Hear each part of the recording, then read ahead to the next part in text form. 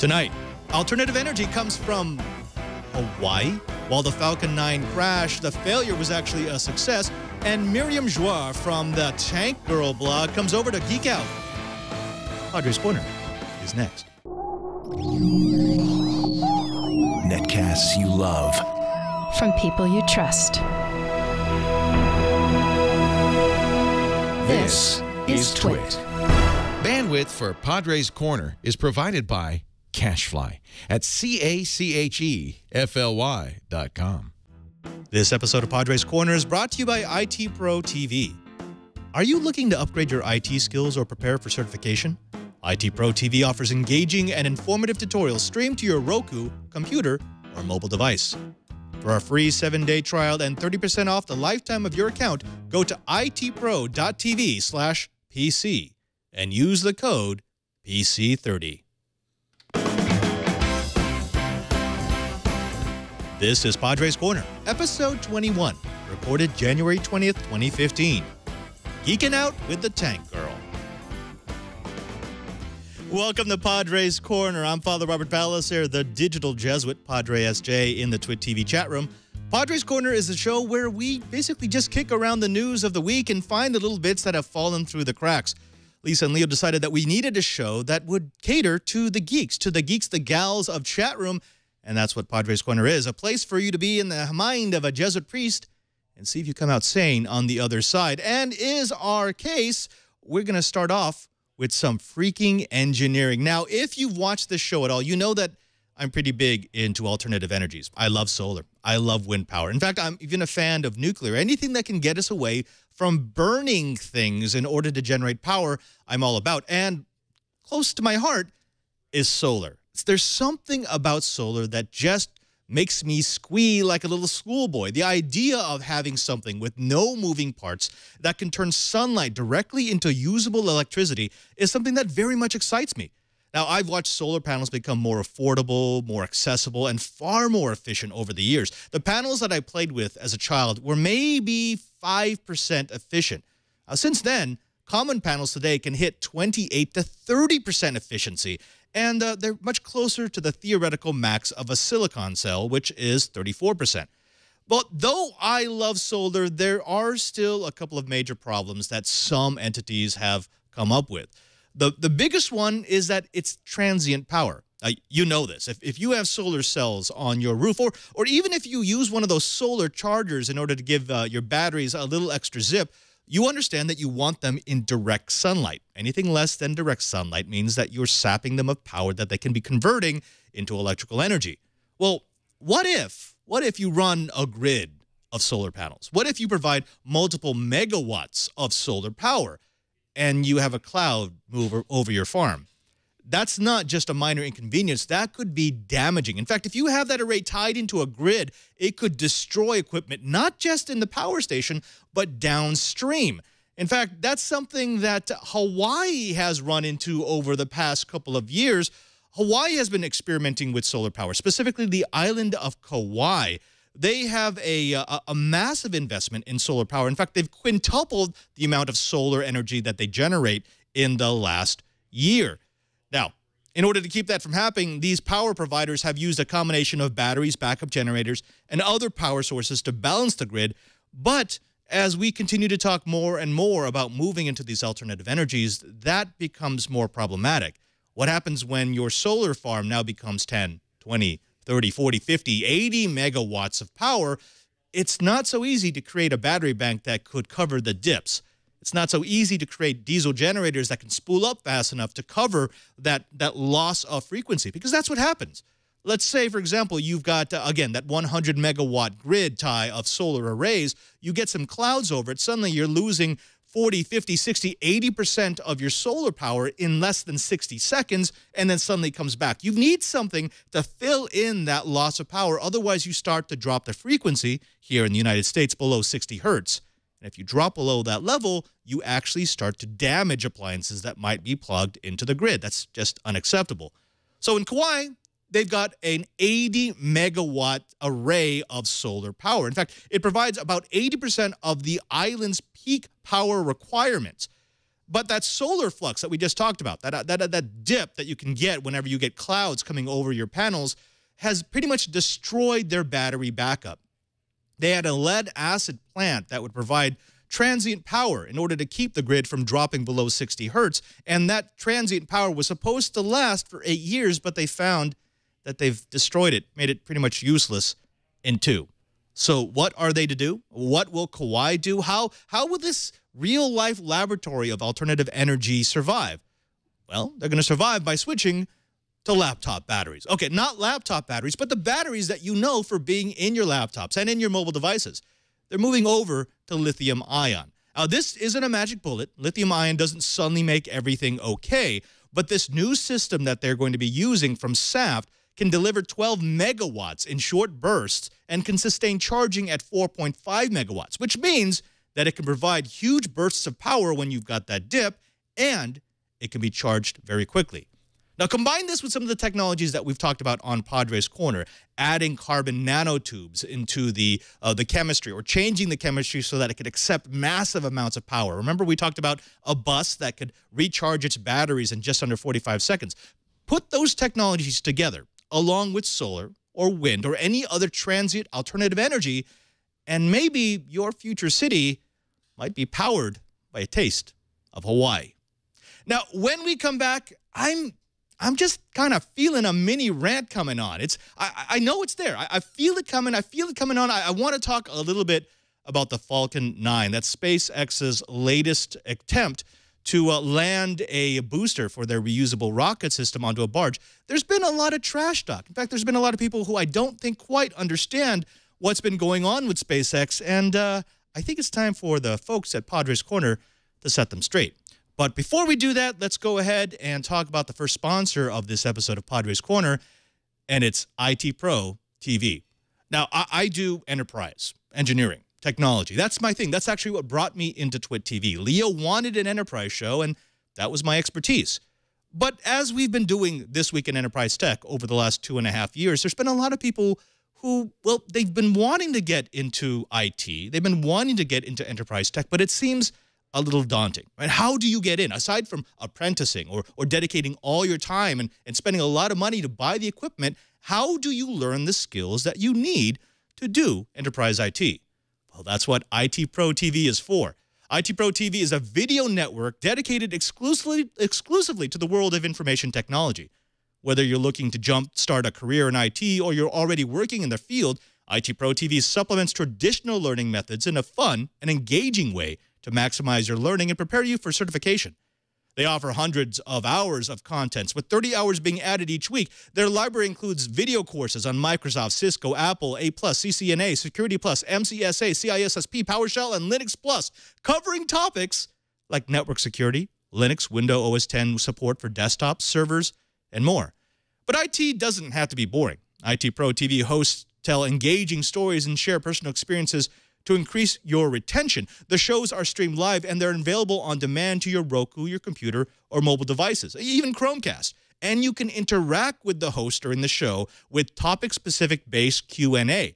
Uh, if this sounds familiar, it's because the folks over at IT Pro TV are actually fans of Twit TV. They've got the same TriCaster, the same cameras. In fact, they're using the same model for the, the chat room because they're fans of Twit and they realize that they want people to learn and be entertained because that's the way that you retain the information. That's what IT Pro TV is all about. Oh, even if you're currently doing a certification program, IT Pro TV can help you with that. They've got a fantastic supplemental program to help you learn at your own pace and your own progress. They include measure up practice exams so that you can find out how ready you are for your certification exam, as well as, and this is my personal favorite, a virtual machine sandbox. If you've ever wondered how you could get your hands on millions of dollars worth of equipment, this is how you do it. Through your browser, you can configure virtual networks. Learning doesn't get better than that. Now, you can get all of this for one low monthly price, which includes daily updates and new monthly features. It's comparable to the cost of a study guide, and it's really much cheaper than going to an IT boot camp. So this is what we want you to do. We want you to upgrade your brain with the most popular IT certifications recognized by employers today. Go to itpro.tv slash PC. You're going to get a free seven day trial when you sign up using our offer code PC30, which will allow you to check their courses, their live stream, and more. Subscriptions are normally $57 per month or $570 for the entire year, but we have a special offer because they're huge fans of Twit. If you sign up now and use the code PC30, you'll receive 30% off your subscription for the lifetime of your account. That's less than $40 per month or $399 for the entire year. And once you reach your 13th month, they'll reduce your subscription rate even further, bringing your cost down to $24.95 a month or 249 for the entire year. That's itpro.tv slash PC. itpro.tv slash PC.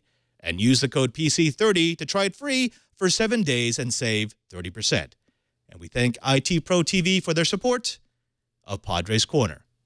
Let's get back into it. Now, if you have been watching the interwebs at all, then you've probably seen this vine. This is a vine of the Falcon 9 rocket booster making an attempt to land on an automated unmanned barge out in the middle of the ocean. Now, as Elon Musk said, close but no cigar. This time, they're promising to come back. Uh, many of us have delighted to this because it's it's you know it's reaching. It's it's taking technology way past what it was designed to do. And even though it was a failure, there were a lot of us who were very, very much loving the fact that they tried.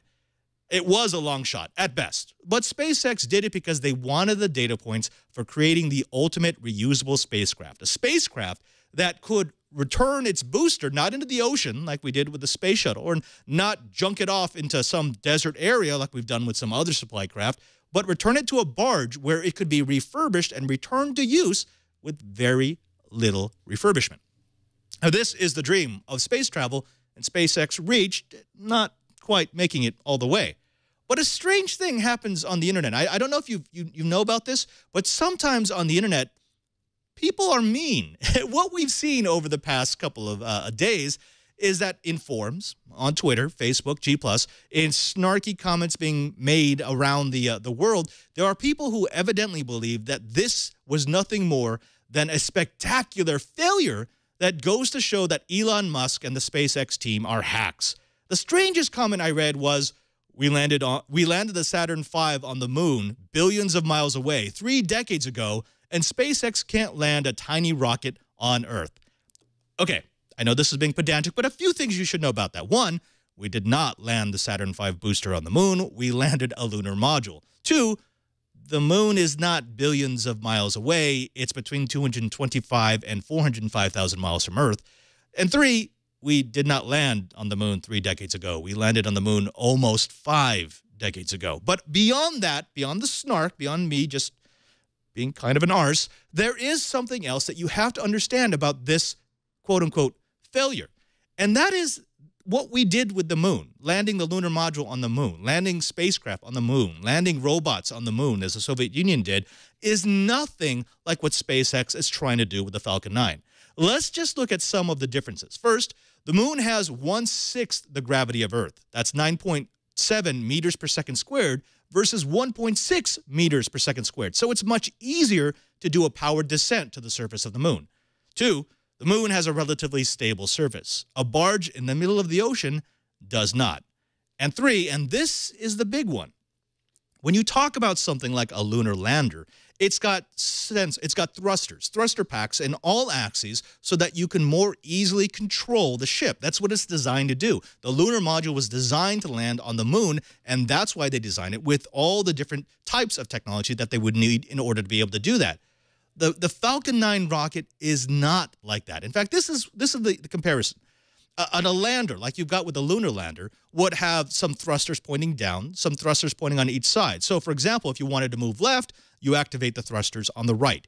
If you want to move right, you activate the thrusters on the left. If you want to change your angle, you use a combination of the thrusters around the craft to rotate it into the proper position. On the Falcon 9, as you can see here, there's one thruster, just one the engine.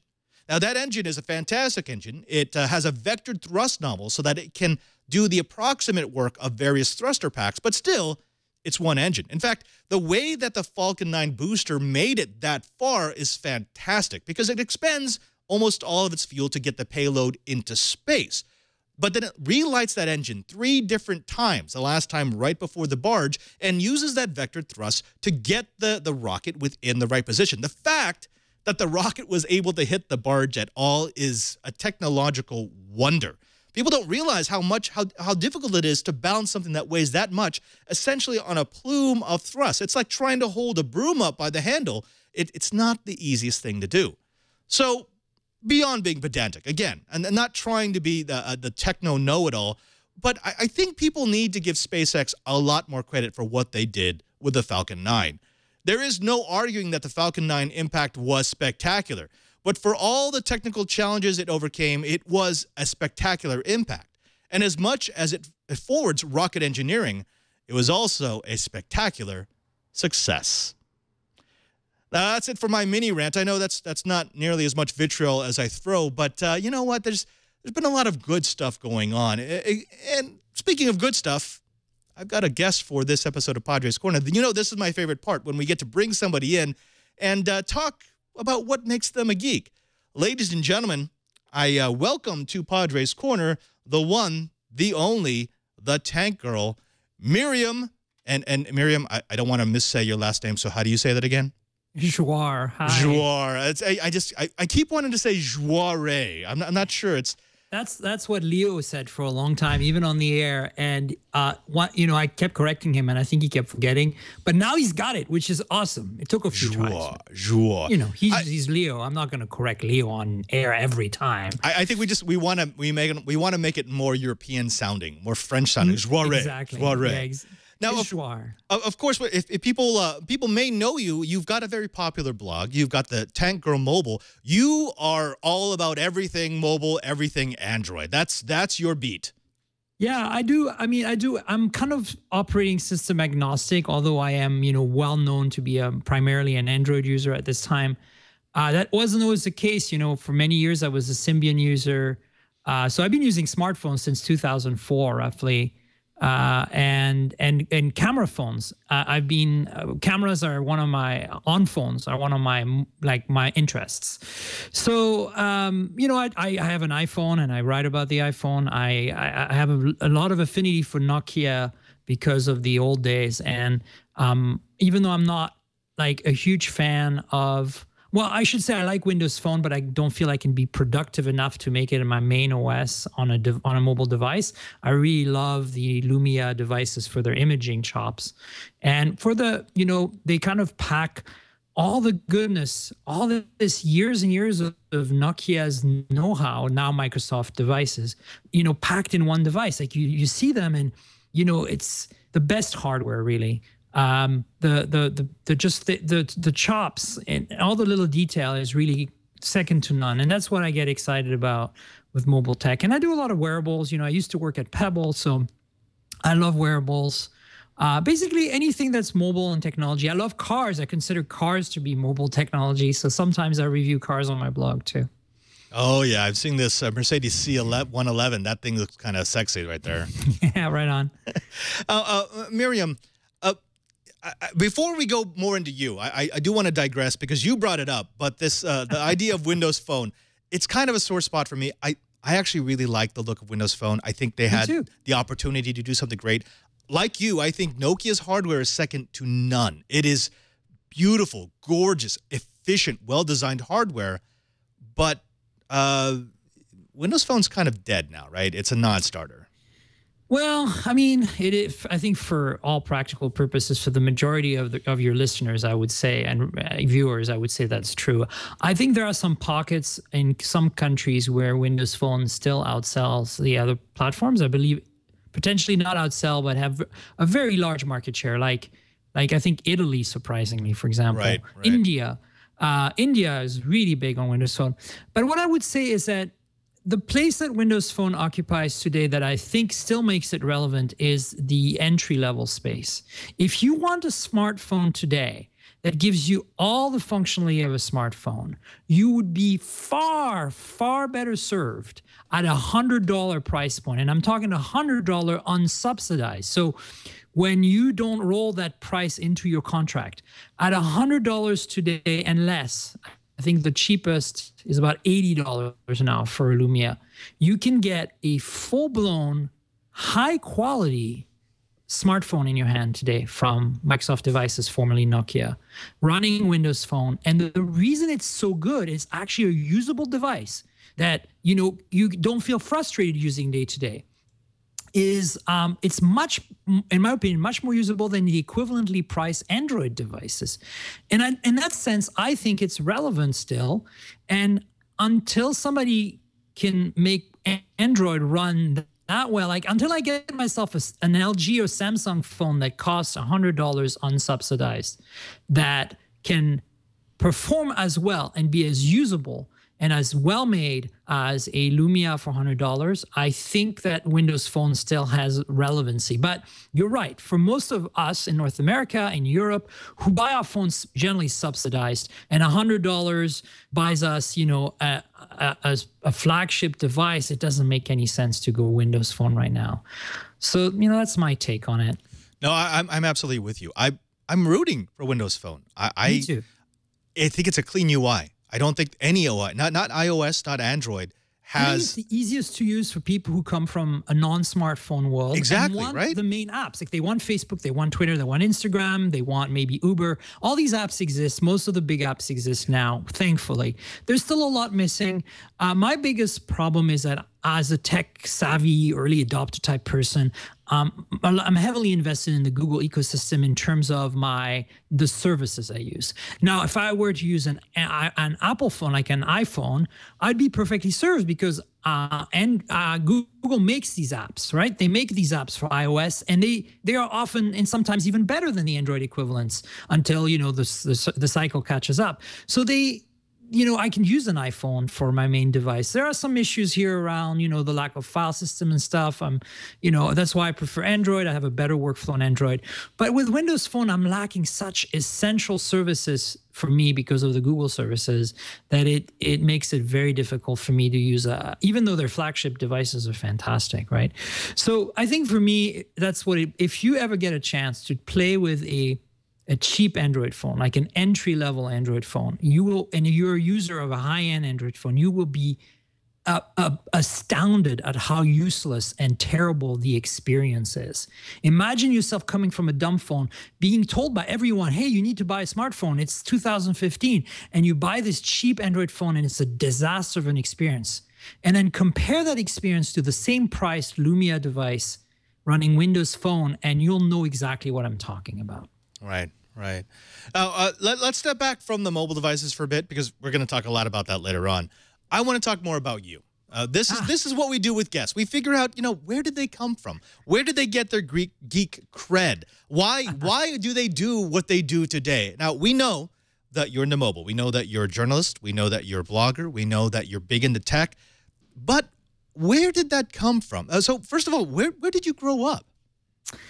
So I grew up in the south of France. My dad uh, was French. He's passed away, and my mom uh, is German. So I got this kind of uh, interesting blend of, you know, Southern European French. Uh, Latin uh, culture combined with kind of the Northern European, because my mom is from Northern Germany, like close to Denmark. So there's kind of like the the Viking culture almost, you know, the the Northern uh, uh, cultures. And I grew up with that, which I think kind of introduced me to a whole wide range of, of interesting things. Uh, when I was uh, 16 or 17, I moved to English speaking Canada, the part of Canada where, you know, a lot of things people think I'm French Canadian because I have two passports and that I speak French. But actually, the French comes from Europe. And my, my Canadian experience has always been a, an English experience. So I came to Canada to go to college um, to go to university uh, in uh, in and around Toronto. There's a, there's a, city not far from Toronto called London, Ontario, and I went there, uh, University of Western Ontario, for a number of years. And you know, by the time I graduated, uh, you know, I kind of did a degree and a half. I spent a lot of time in, in university, and then I, I did some research uh, in a bunch of the university labs. So I spent about ten years on campus, and I um, I thought to myself, I'm not going to go back to France. You know, I have a great education. It's an English education. There's a lot of opportunity with technology, which is something I've always been fascinated by.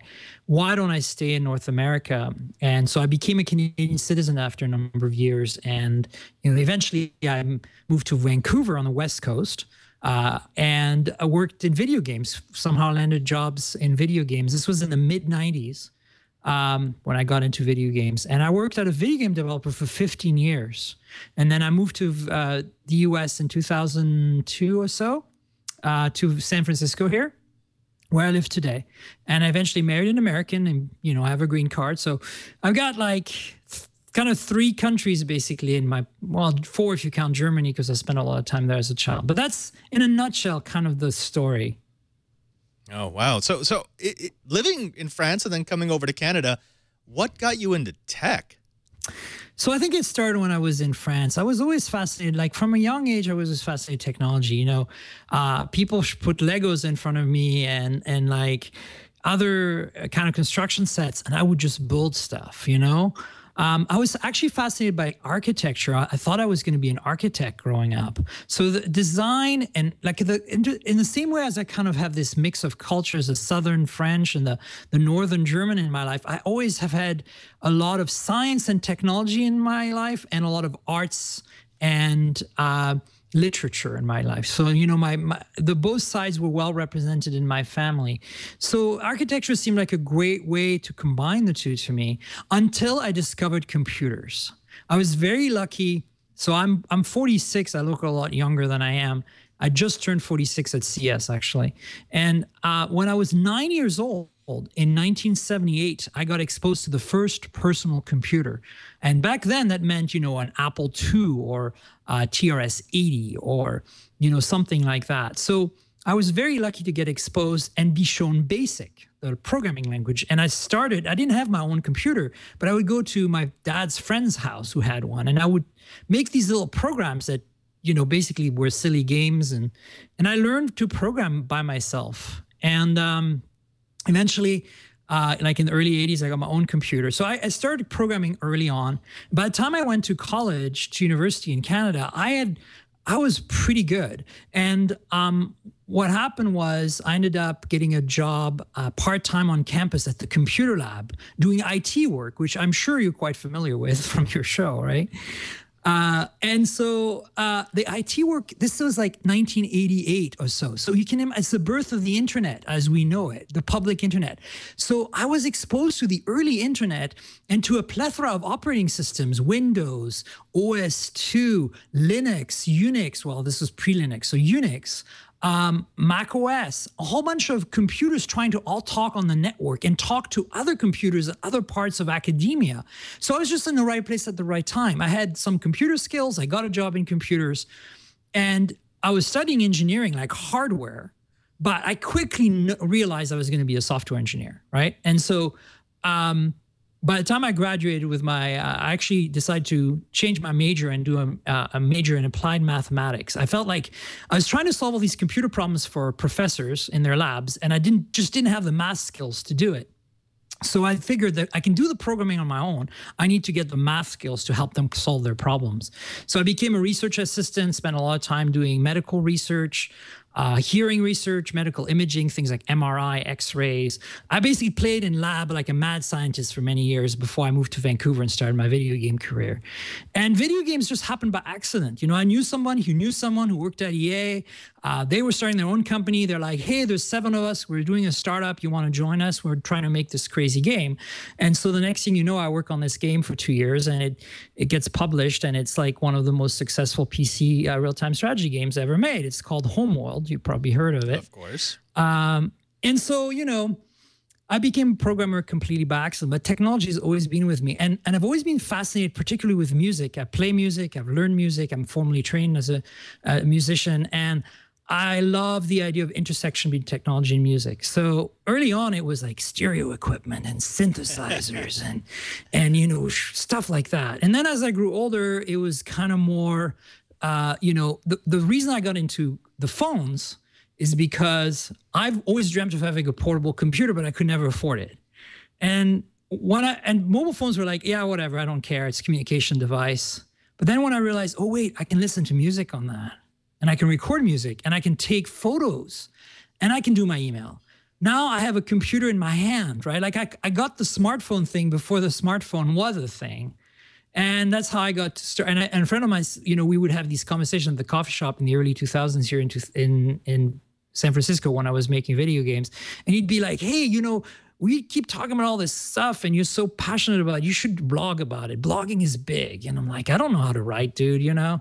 And he's like, I just do it. You'll become a better writer for your job. You probably have to write manuals and stuff from time to time for, you know, uh, instructions for your your colleagues on how to code, like com- even just commenting in your code. So I just started writing, and this blog that you're looking at right now, I haven't really changed the design much since 2006 when I started it. And uh, lo and behold, the next thing you know, uh, I'm working in video games. My, my blog is taking more and more of my time, and other blogs are picking up my stories. And you know, I'm growing this social media presence completely organically, not really knowing what the hell I was doing. So anyway, I could go on forever, but you get the gist of it. Technology has always been a part of my life. Uh, th there was one little bit in there when you said that you decided you wanted to be a computer engineer. Uh, this is a question that I, have asked of some people on one of my other shows, Coding 101, and that is there are some people who watch our shows and who will write me and they really want to be a computer engineer because they see the salary and they see, oh, I don't want to be left behind. There's these developers who are making millions and billions of dollars. And so they figure, I'll just learn the skill, I'll learn the language, I'll learn what the syntax is, and then I'll be a developer. But uh, where do you fall here? I, I'm I'm of the mind that there are some people who just if you don't have that natural inclination, that natural desire to solve things and put them into computer language, yeah. you just can't you can't just be a developer. It's it's not like you just choose to be a developer if you don't have the aptitude. I, I didn't do it for the money. I, I did it for passion. Like from a young age, you know, I was always playing with the wrong toys and like taking things apart and putting them back together i did a lot of that. Like and oftentimes breaking them because i had you have to learn. But by my early teens you know in the 80s when i was in high school walkman were a big thing. And my friends would break their walkman and give them to me and say can you fix it? And i would take them apart and fix them. And eventually i actually created a little bit of a side business in my high school years I would order the parts from Sony, which was one of the biggest Walkman manufacturer then, and a few other manufacturers to fix my friend's Walkman for for a small fee. And you know, I did a little small business doing that. So for me, it's always been a part of my life. I, I don't know how to explain to you, but I've always taken things apart and naturally understood how they work. You know, um, and and then you know I'm one of those people who can look at the trunk of a car, you know, with a bunch of luggage in front of the car and go, yeah, I'm playing that game of Tetris, Tetris. right now, yeah. and it's exactly I know exactly how it's going to work out before I even touch anything. I I am always I am the family packer because I can figure out how to use up every little inch in that trunk. And and I don't know, like it's like I'm not trying to be like cool about it. It's just it just I can visualize it in my head.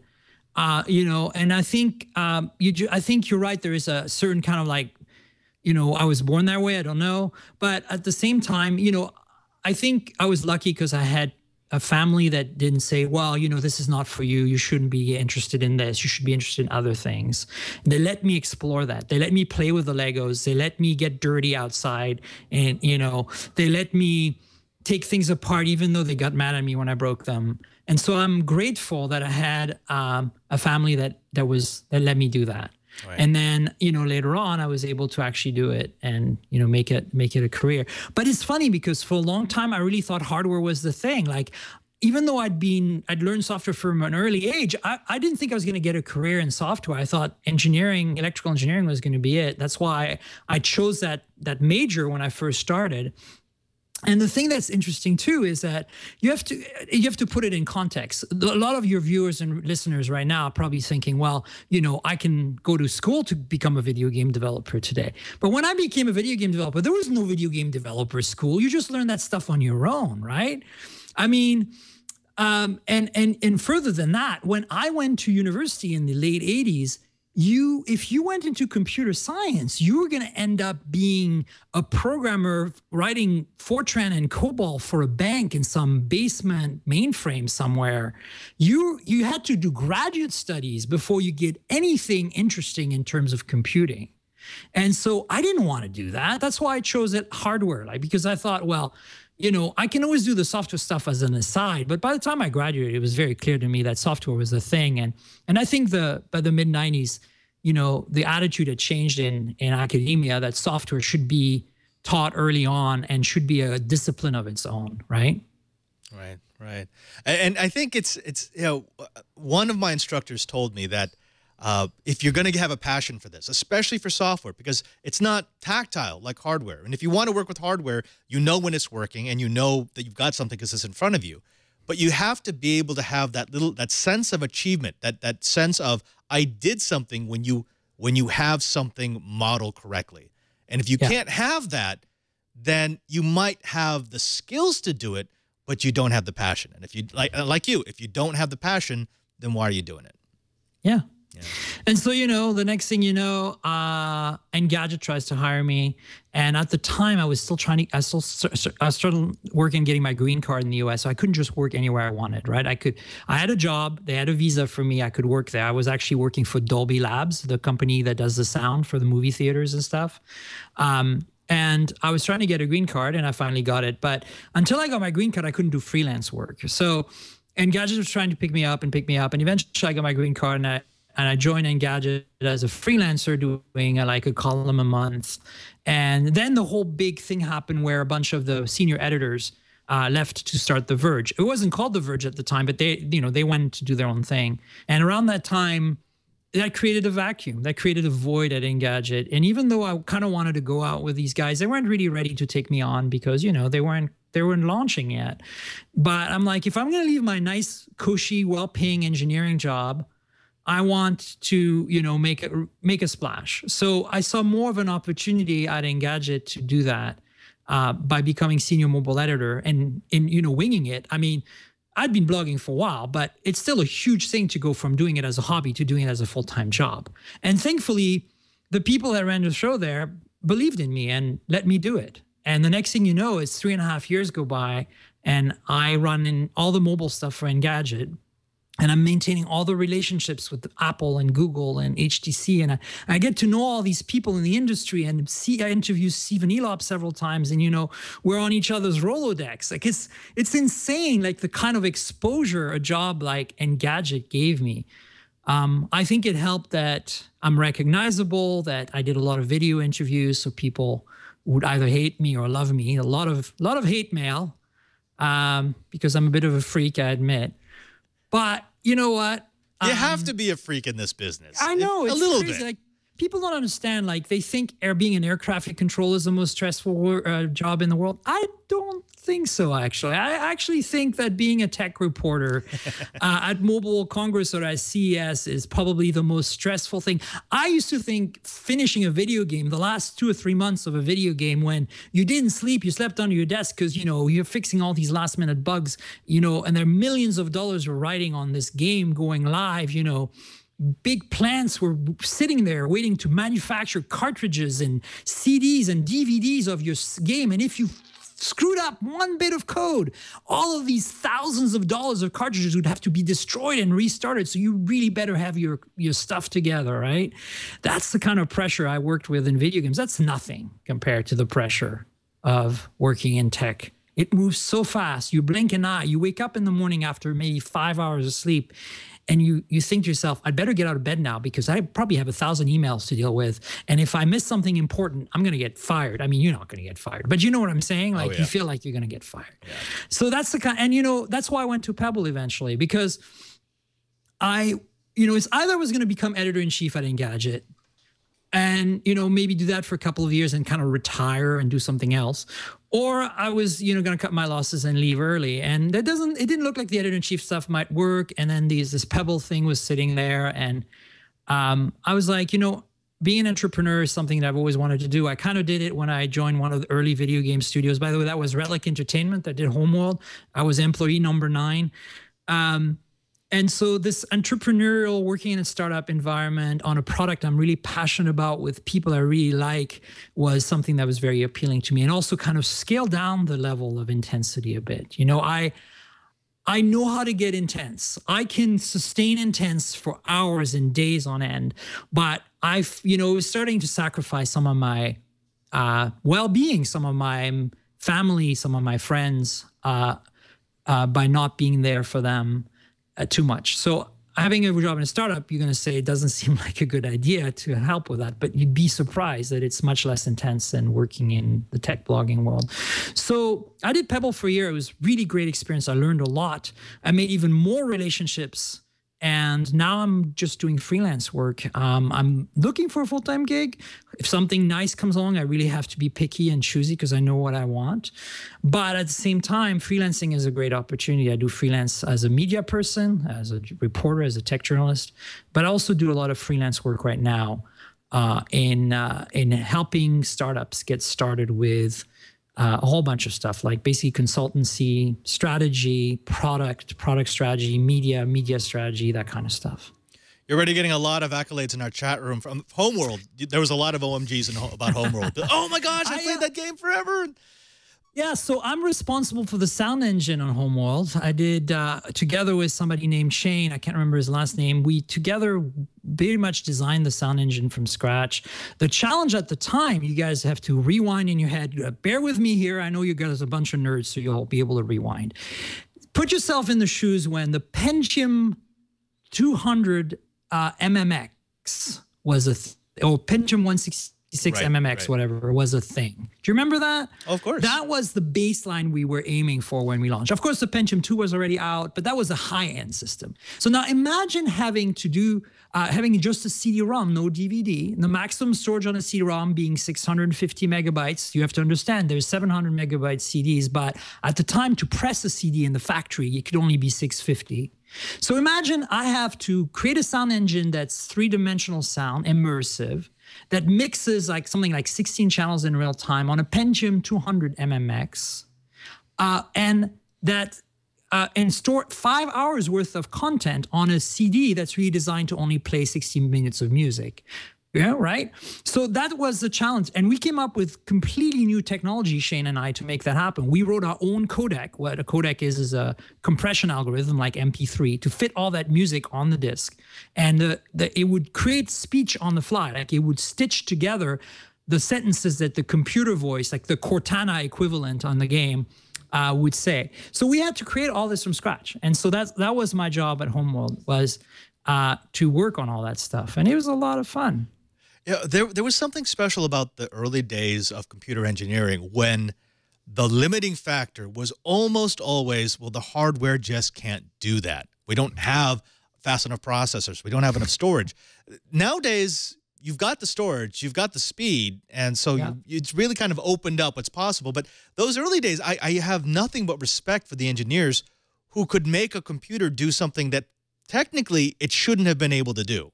Right. And that was exactly what I went for when I joined the company. Like they said to me, the, you know, the interview was like seven of us sitting around in, in a circle, uh, you know, hanging out, eating Cheetos and talking about how we were going to make this game. And then we talked enough about it that they said, Hey, Yochai, come on board. You, you know what you're doing. You'll make this sound engine work. You know, that's how it was back then. Like, because if you could show that you could code, that's that's all you needed, right?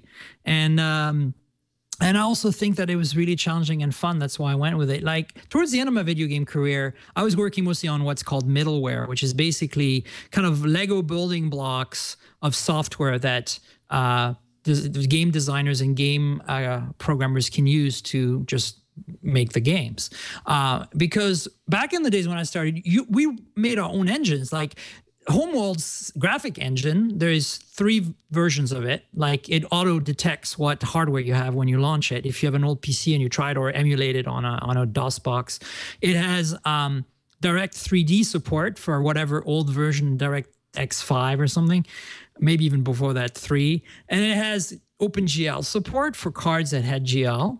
Um, it also supported uh, the 3DFX cards, uh, which was a separate renderer, and then it supported software. And what's great about this is if you run in software renderer today, you can render home Homeworld at something like HD resolutions, which it was never designed to do. But it works because the guys who made that engine thought of that. They're like, one day somebody in 10 years, 20 years is going to run the game emulated on some kind of crazy hardware we can't even imagine today. And if we make a software renderer, they'll be able to run it like at 32 bit color depth, you know, 3000 by 2000 pixel resolution and it'll still run and look fantastic. And guess what? It does. I, I prefer the earlier games like on my old IBM uh, 8080 where Wow, they, they didn't think of that at all and so you had to have that turbo button to slow down the computer Oh, yeah, because yeah. games that were designed for the older machines would run double triple quadruple speed. So you had to no no no slow back down become the old computer. Yeah that's uh, that's the opposite of foresight yeah so you know um i i'm one of my favorite like i like these old games a lot. Like i like i love to play games like asteroids and and uh you know of course uh, space invaders is still one of my favorites. I know it's it's a simple game right? Uh pac-man uh lemmings a little bit newer. The the leisure leisure shoot suit larry series are pretty good. Um but anyway you know i I never really got into the modern games, even though I worked on them. Like I played them, I know how to play them. But it's just to me, there was and that's why I like mobile games today. There's a they're so easy to pick up. You just pick up the phone and you just start playing and you have a great time. You know, to me, those are the games I really get into. I don't get into the really difficult combo games or the games where, you know, you have to be really twitchy and fast. And and I'm not saying they're wrong. Like I I admire the simulation games and the first time the first person shooters. They're incredible. And the the puzzle games, the adventure games. But for me, you know, it's just I just want to be able to pick it up and feel instant gratification that I'm not a complete loser playing the game right off the bat. You know what I'm saying? Uh, with you, I, I'm not a Twitch gamer. Uh, I don't do RTS. Uh, I I can do you know FPS, but I'm not great at it anymore. I, I used to be a lot better when I was younger. But but like you, I I very much admire a game that I can pick up, Yeah. enjoy for 30 minutes, and then put it down. Um, So yeah. so you know when when I joined Engadget, for me it was gonna it was there. I was I was basically making sound engines in in a can, like preset sound engines for companies like Dolby and Sony. I worked at Sony Computer Entertainment. I was the uh, developer evangelist for audio for PS3 and PlayStation Portable (PSP). So. Um, you know, I went to conferences and I stood on stage and I introduced oh, the latest sound engine from Sony for PlayStation 3, you know, blah blah blah. Um, and and so but games themselves would just use these building blocks by the time you know i left the video game industry they would use these building blocks that i created but they wouldn't really people wouldn't do it in house anymore which is what happened with homeworld and why what i did for many of my early years in video games and and i missed that so either i was going to go into blogging full time because blogging had become a big thing in my life as a hobby or I was just gonna make my start my own company and make mobile games because I felt mobile at the time in 2000, you know, 2009 or so was just starting. It was just becoming a thing because of the iPhone a lot, right? So you know, I'm still very connected to the developer community. Uh, one of the things I love Microsoft for, other than the Lumia devices, but they acquired that from Nokia, is Xbox. I think it's a really fantastic platform as a developer it's a lot easier to code on on it's always been a lot easier to code on Xbox than any other platform. Nintendo and Sony often f- being the hardest depending on what generation platform you talk about. Nowadays it's improved significantly, but in the PlayStation 3 days, I tell you, the PlayStation 3 is an is an incredible piece of hardware. If you're a hardware nerd like me, it's like wow. But it's so hard to code on.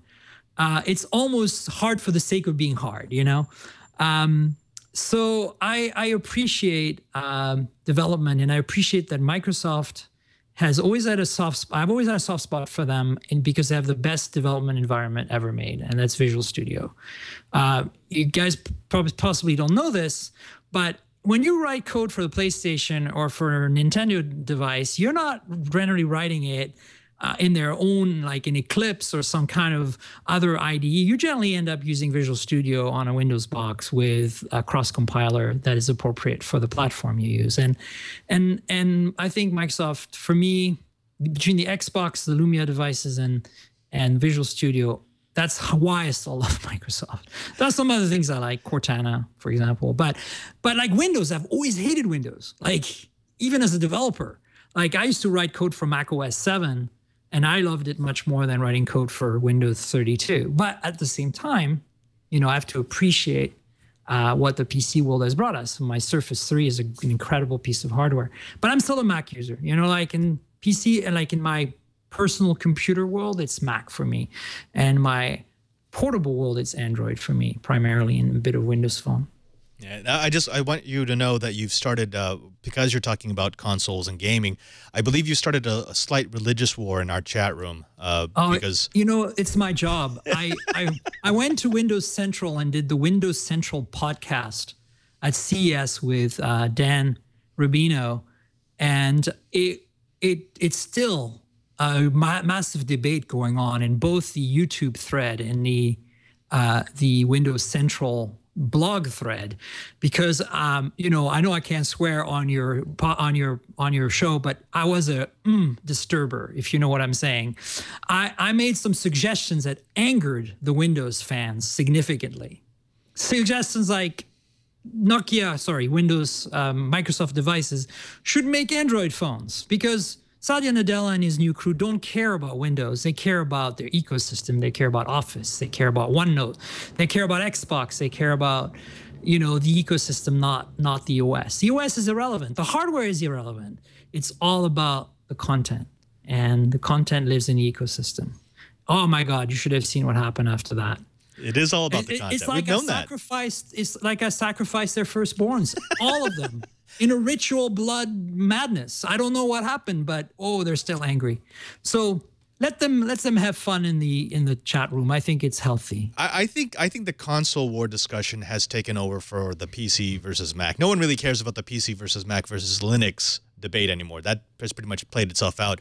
But you start talking consoles, and yeah, you are you are slapping some sacred cows. Uh, uh, uh Myriam, uh, I, somebody wait wait somebody in the chat room doesn't believe I actually worked for Sony. I did. I worked for- I worked at uh, Sony Computer Entertainment from about 2008 till 2010. So or maybe 7 to 9, somewhere like that. Just check it out. It's it's real. It happened.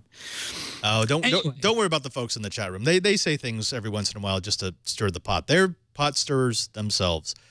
Uh, Myriam, Yes. before the show, you were playing with a little device, and uh, I had I had a segment ready to go for this thing that we call the tech, but uh, I'm thinking that maybe that needs to be what we take a look at because it is some special sauce. So, uh, you think we can uh, take a look at it?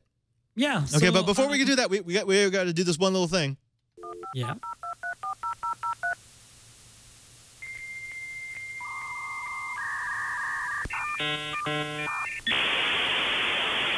All right, now uh, I I was kind of blown away. I know there's going to be some people who are going to be underwhelmed at first, but you got to stay for the entire segment.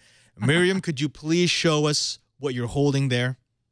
Yeah, so I'm holding a phone here, um, and I'll, I'll let you wait. It's reflecting my screen. So this, what do you think this is? Quick uh, tally up in the chat room here. Oh, chat room, that's an Android phone, right? I mean, it looks like every other Android phone. Well, it is an Android phone, of course. But there's a, an interesting little thing about this Android phone. If I flip it over, it has another display. and I'm sure if I get a little closer to my camera and it starts to finally focus, not on my face, but on the phone. Ah, really? Anyway, if you can read what says at the bottom, I don't know. My, I don't think my quality is big enough. Uh, yeah, you're still on, you're on standard def. Yeah. Anyway, it's a YotaPhone too. And so anybody who knows what that is, it's um here I've I've dimmed the front display so I can show it to you. Um, this is the front and it's still too bright. Wait. Hang on. This is very strange because I actually dimmed the front earlier. Let me uh, lower the brightness to a reasonable level. Here we go. There you go. So here's the front, standard five inch uh, 1080p AMOLED display, right? And in the back here, there's a QHD that's uh, Quarter HD, not Quad HD, um, e-ink panel. And uh, let me show you what's interesting about this. wait, wait, Go, go ahead and talk over it. I'm going to do this so they can get a, a high def look at what it actually looks like. It's this is Yeah. a sexy device. So I showed you the front screen just a second ago, and now I've, I've actually copied the back. I've, I've mirrored the uh, I've mirrored the entire Android experience on the e-ink panel. So I can, uh, I'm going to try to do this backwards here, but let's see. Can I do this properly? So uh, here, I, uh, I'm, uh, I'm basically going into the app tray and going through my apps. I can use And that, that's an just e like- that's an e-ink screen. That's not an LCD screen. no, that's an e-ink. It's uh if my phone dies right now, the battery's dead. It, this is this is gonna stay up exactly like you see it. So say I want to draw, I want to start um, flip uh, Flipboard here and read my news for the day. Here's Flipboard, and uh, you know I can go into say Engadget, which is one of my feeds, since I used to work there. It's loading the feed, as you can see. Let's see if I can get the camera to finally focus on this phone instead. And so here we go. We've we've loaded the first story, and of course I can do what anybody does with Flipboard, which is flip through the screens. It's still loading, but you get the idea. So as e-ink, and of course, here the moment I want to, I can I can go like this, and now I am in Flipboard on the front. That's too Right? cool. So you can flip between the two sides like this at will. And other than that, it's a pretty much a normal.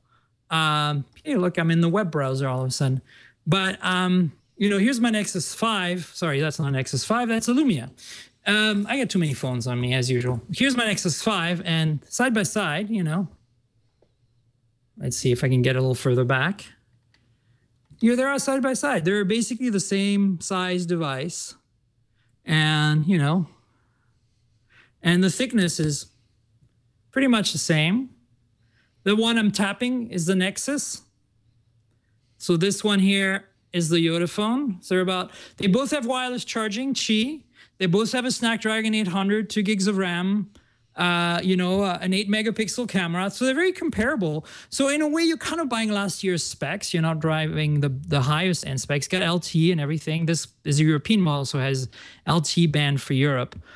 But um, you know, it's it's a pretty much a flagship kind of device, or maybe a higher end mid range device, if you want to call it that today. Do you have any feel yet on what it's going to do for battery life? Um, what? I, not really. I've only been using it for a few days, and what I've noticed that um, it's really, really good. Like if I'm using an e-ink, it's almost like I'm, I don't have a display attached to the device at all. And uh, I mean, you're not going to be playing games or watch videos. Although I want to show you something that is kind of cool. Hang on one sec. I'm just going to unlock the the rear screen here real quick. And it's hard to do with one hand. So there we go. So what I want to show you is, so here's the rear screen, right? Uh, and I'm gonna start the camera app. And now I can take a high res selfie, right? You can see my screen like it's. So this is the refresh rate, That's actually pretty good. I mean, for e-ink, that's actually spectacular. right? So you can't watch a video on here or play a video game, or maybe a puzzle game would work. But you know, it's pretty awesome that you can. Uh, let's see if I can do this. Uh, I'm upside down. But if I uh, bring up the Android controls here, I can go back to, you know, kill the app.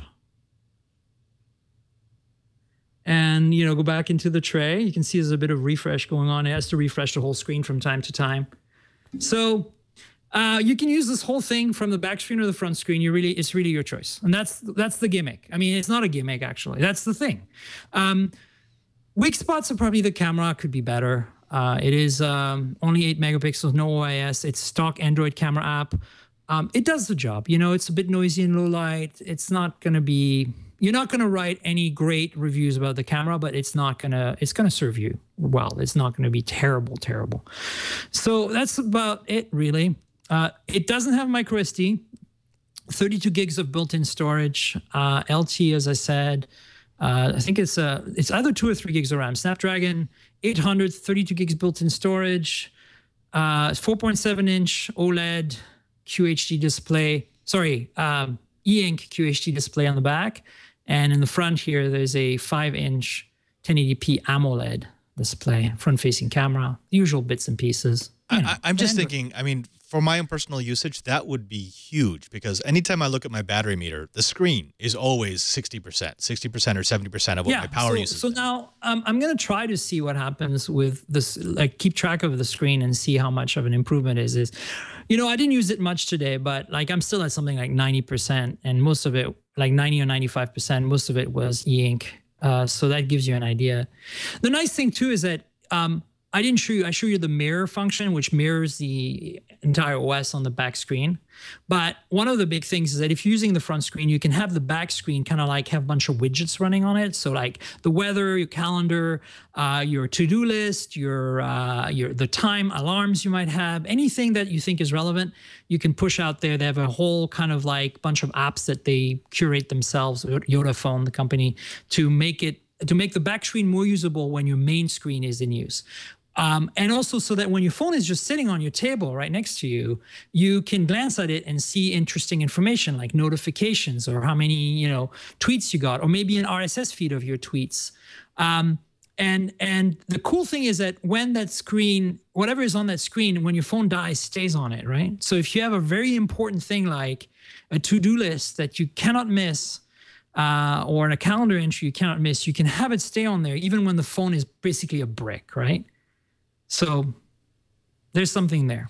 And we've got Jab in the chat room saying, "So wait a minute, you know, two screens it uses more power, but no, that's that's the whole idea. I mean, imagine the things that you do on your phone, just reading a web page, yeah, reading an email that doesn't need a, a high power, super responsive screen. Now turn off the screen for that time, and suddenly you're you're adding not hours, but maybe days to your smartphone life. Exactly. And if you guys are not familiar with an e-ink display, hopefully you go to Wikipedia and read it because it's a pretty big deal in tech to not know what an e-ink display is today. Okay. Kindle's been around for five, six years now. Well, more than that. When is the first Kindle? 2006? Eight years. So the, the bottom line is e-ink only uses power when it refreshes. And when it refreshes uses very little power. So you can basically have a device with e-ink last you know the only thing that are going to kill you on a phone is going to be the radios right? The connection to lte the connection to wi-fi your bluetooth connections. Um, maybe when you play music the speaker or headphones the headphone amp but none of the display stuff is going to cost you anything. On this phone, if you don't use the normal screen, the main screen, you're not using any battery for displaying anything. Uh, and that's what's amazing about it. Myriam, we have to do one last bit before we wrap it up. I promised uh, my uh, viewers on Twitter that we would take a look at a uh, quadcopter, a drone pilot doing something incredibly stupid. And uh, here I it is. But I don't like stupid drones. Oh, no, Yeah, kidding me. They flew over an exactly. airport? He did. So this is in Istanbul. At, uh, Ataturk Airport is the fifth busiest airport in Europe. It serves more than 50 million passengers a year. And uh, here in the United States, at least, we know that the FAA has guidelines that says we're not allowed to fly within five miles of an airport. Uh, you, or at least you have to warn the tower that you're going to do it and get permission. Now, responsible hobbyists don't fly within 10 miles of an airport, but this pilot not only flew over an airport with an active taxiway, but let's see if I can, uh, jump forward here. He actually came within 50 feet of the beacon, the landing beacon slash radar array.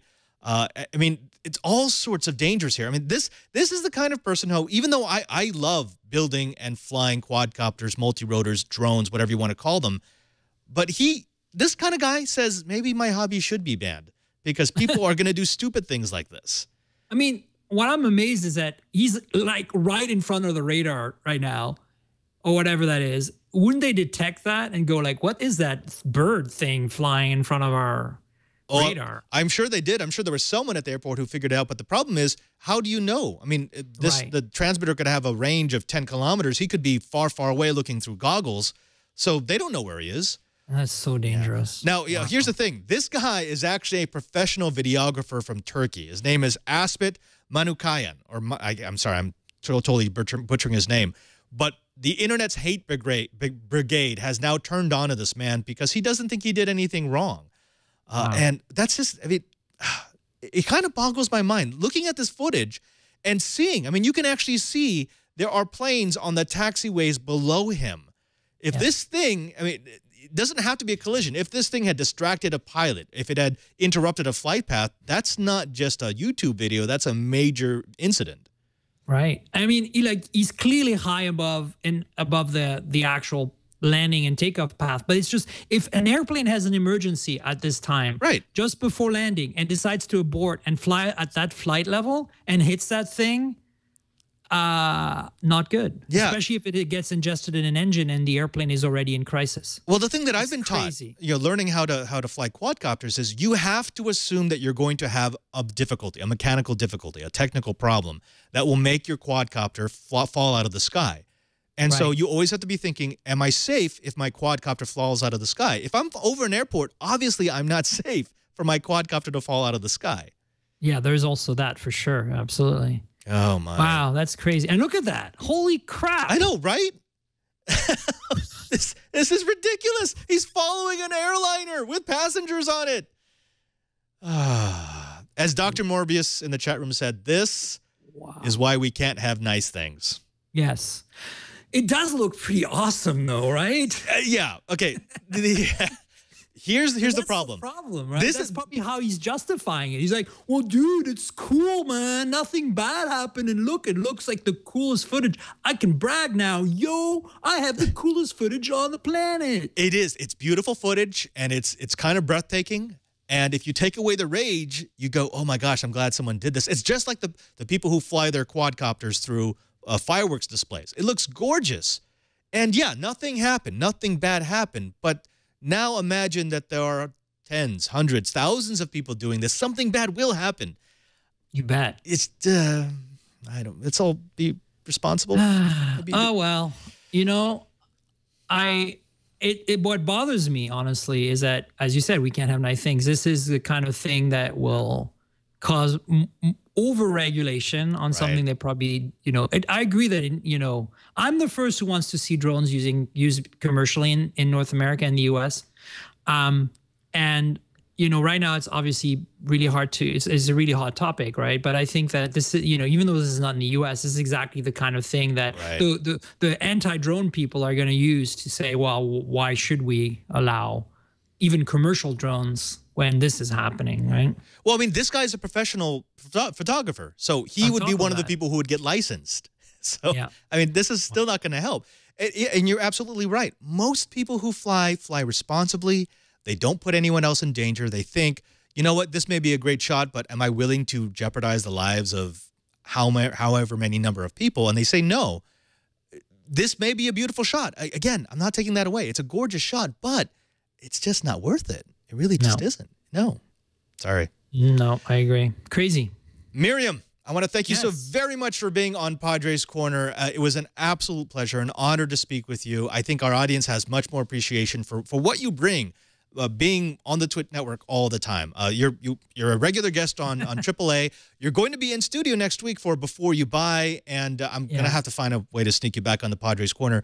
Could you please tell the folks at home where they can find you, where they can find your work, where they can catch Sure. up with what you're Um, covering? So I'm mostly known online as Tank Girl without the vowel. So T N K G R L. If you search for that, or my my name, which you know will pop up right there. It's on Twitter. You can see it. If you search for that, you'll find my blog. You'll find my Twitter. You'll find a lot of my handles. Um, there's a few I didn't get. YouTube is slightly different, but if you go from my blog to my YouTube, you'll find it. Um, I couldn't get the handle on every every network, but the, the reality is, I do a podcast. You can see it here once once a, a month or so. It's very everything's very loose in my life in terms of timing. Um, but because this is my hobby really right? I, I don't really make money. I'm, i mean i monetize the videos but it's not insane or anything. So um join me subscribe to my podcast check my blog from time to time. But the best thing is probably just follow me on twitter or on g plus or on facebook. Facebook is a little harder to find because i only do public entries with friends. Um and uh, yeah you know you can find me out there. Uh, if you are any gigs you want uh, me to help with uh, startups to launch or media stuff to help with let me know.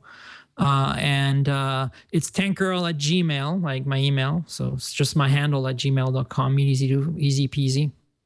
So i hope to hear from you uh, and i hope to see you comment and you know be on on on the internets on the social media with me Myriam Joire, we thank you so very much for being on Padre's Corner. Uh, I, we will have you back, and uh, thank you for everything you bring to the field. Thank you so much for having me, Robert. It was an absolute pleasure. I will do it again anytime. I'll see you next time. Bye. Folks, that's the end of this episode of Padre's Corner. But I want to thank you very much for for sticking around. Uh, I, you know, you've you've been with me for such a long time, and you've really let me turn Padres Corner into something fun for the Twit TV network. Remember that this started as just a little extra something something I did on Friday nights. Now, we're going to be returning to that. Starting in March, Padre's Corner is moving back to Fridays nights. We're, actually going to turn it into sort of like Fridays with Padre. I'll be doing three shows on Friday. That's uh, This Week in Enterprise Tech, Before You Buy, and Padre's Corner. Monday will be Coding 101, and Thursdays will be Know How. Why, why do I tell this? Uh, to you? Well, because I want you to be able to check out all my shows. And in fact, if you want to check out Padre's Corner and our back episodes, just go to twit.tv slash Padre. There you'll find all of our episodes, along with a way to get every episode of Padre's Corner downloaded automatically into your device of choice. If you want it in your Android device, your laptop, your tablet, your desktop, your iOS device, whatever it may be, we'll give it to you. Also, don't forget that you can follow me on Twitter. Just go to twitter.com slash PadreSJ. That's at PadreSJ. If you follow me, you'll find out whatever it is I'm doing, including today, which was kind of really hard for me to get started. But you'll also see the topics I cover on all of my shows. You'll see what I've been doing during the week when I'm not on the Twit TV network. It's just a nice place to catch up with uh, me when I'm not here on the on the live stream.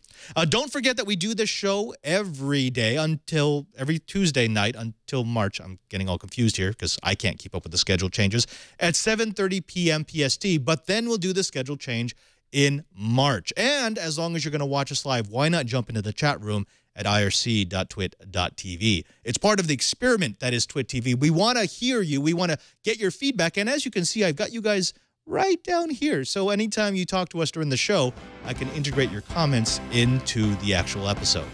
Until next time, I'm Father Robert Ballecer, the digital Jesuit.